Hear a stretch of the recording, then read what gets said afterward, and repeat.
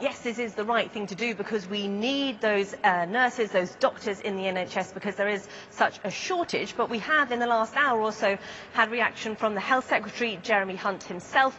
He's been speaking at the NHS Confederation in Manchester. Uh, there is a huge upscaling of capacity in global health systems. The World Health Organization says there's a 2.6 million shortage of doctors across the world, a 9 million shortage of nurses.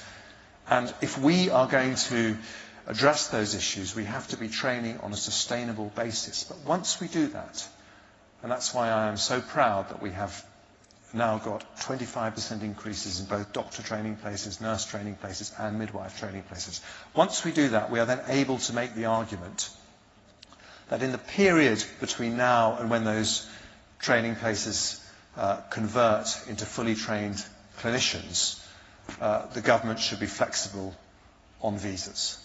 And that is why it is uh, extremely welcome that today the Prime Minister has announced that doctors and nurses will be removed from the Tier 2 visa caps, which means that the NHS will be able to recruit the number of doctors and nurses that we need from overseas.